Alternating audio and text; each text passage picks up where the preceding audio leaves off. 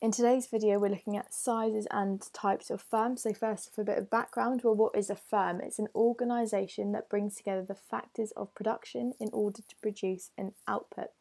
What are sole property, property, I don't know how to say that word, sole proprietors? It's when there's one owner and it's often a small shop. So, for example, it could be a corner shop and then you've got these private sector firms. These are firms that run on a commercial basis. And then there's partly state owned firms, which often focus on providing services rather than earning profits. So, for example, that would be firms like the NHS. Now, the scale of the firm depends on the nature of the market, the technology within the market, and the structure of the costs. So, that's just a bit of background. It's not essential to know for um, sizes and types of firms, but it is handy to know. So, how come some firms tend to remain small and how come other firms decide to grow? Well, some firms decide to remain small because the owner doesn't want the pressure and effort of having to expand, so it's just easier to keep on a smaller scale. It also avoids the costs of having to organise a management team when the owner may like to remain in control and make their own decisions. So, for example, if you had um, if you had say a toy business and you liked having your toys a very specific way, you liked keeping it this way, and then got bigger and bigger, and something you were having to get in managers, they wanted to change the way that your of your toy production things. You thought, no, actually, no, I'm just going to stay small and run things the way I like to run things. So, just to remain in control is another point. Also, um, formal markets tend to have to pay higher wages.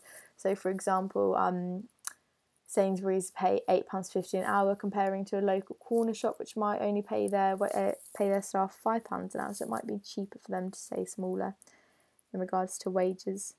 Um, they might also want to become a local monopolist as opposed to a global one. So this could be because they can then provide a more personal service, and their opening hours might suit a small town such as those of a corner shop. Um, however, some firms decide to grow. Well, why is this? Because there's an opportunity for higher profits. The owner might want to enjoy a more luxurious lifestyle, and therefore the profits are a nice incentive for a reason to grow.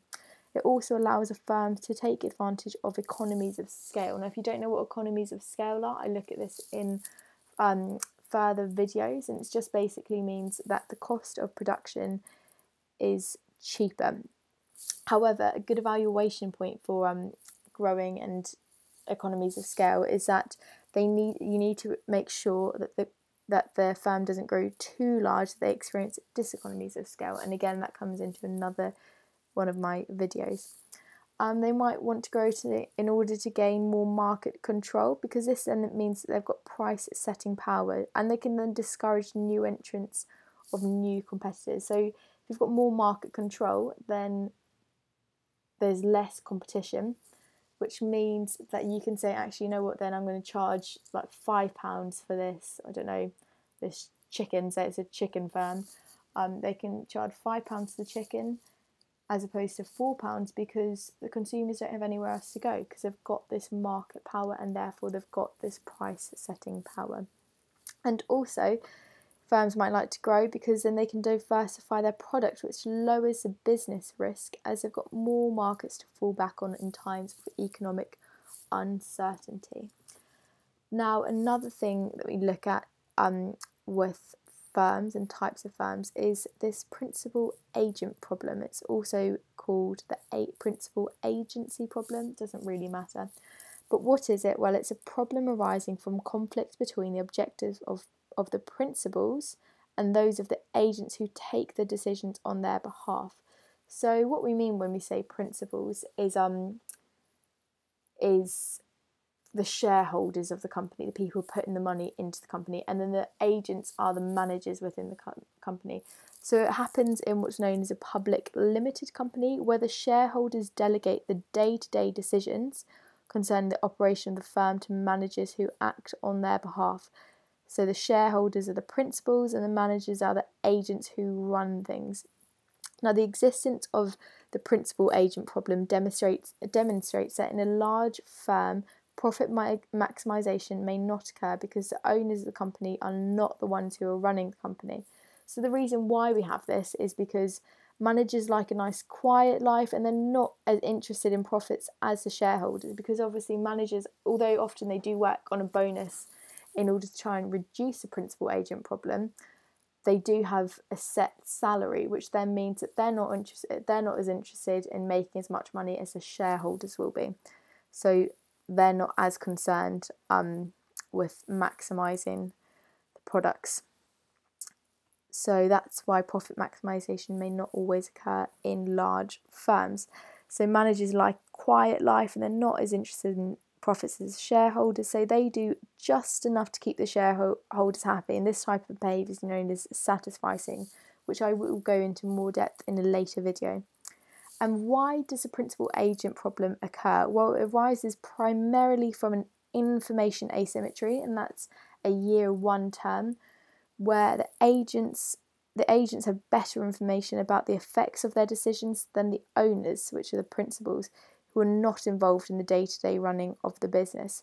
So, in order to overcome this, the owners need to overcome the information problem by improving their monitor their monitoring of the manager's actions. So, the shareholders should become more informed about what the manager is doing, or they need to provide the managers with an incentive to take decisions that would that would align them with the owner's objectives. So, like offering bonuses related to profit, then the manager is going to be more likely to try and maximize profits. And a good um, a good uh, what do you call it? Good example of this, sorry, is John Lewis. John Lewis make all their workers shareholders, which means that all their workers have got a tiny bit of share in the John Lewis Waitrose um, company. So they are going to be interested in providing good customer service, which then is going to try and raise the profits of the company because they're going to increase their consumer base and therefore products. So you also need to be able to make a distinction between public and private sector organisations. Well, just simply, public sector organisation is when the industry is control- controlled by the government. So that's going to be industries like the NHS.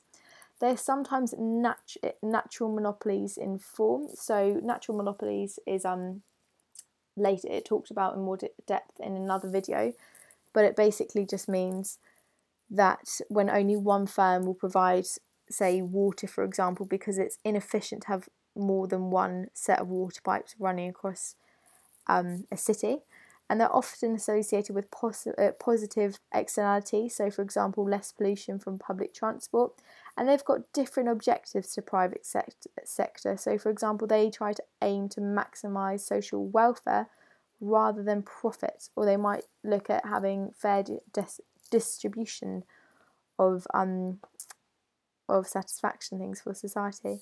And then private sector organisation, well, this is when a firm is guided by a free market and private individuals. So, free market economists will argue that the private sector gives firms incentives to operate efficiently, which therefore increases economic welfare. And it's because the private sector is only going to produce goods and services that consumers want, therefore, therefore it's allocatively efficient. And the competition between the firms means lower prices, which is therefore better for consumers. And sorry, I haven't got that last point there, but um, in private sector organisations, so different to public sector organisation where you might have natural monopolies. In private sector organisation, there's often lots of competition, which is going to drive down prices because they're, they're forced to become more efficient, which therefore lowers costs for consumers and thus becomes more efficient for society as a whole. And you also, just lastly, sorry, need to look at profit versus non profit organisations. So basically, you should kind of know this already, but a profit organisation is when you're trying to aim to maximise profits, and this is just to financially benefit shareholders and owners, whereas a non profit organisation is going to have different aims. They, they want to aim to maximise social welfare, and any profit that they do get is often used for the goal of the organisation and the running of the firm. So, for example, any um, profits that cancer research makes goes into researching cancer because that is the goal of the organisation. So that's all you need to know on the sizes and types of firms. I hope you learned a bit more and thank you for watching.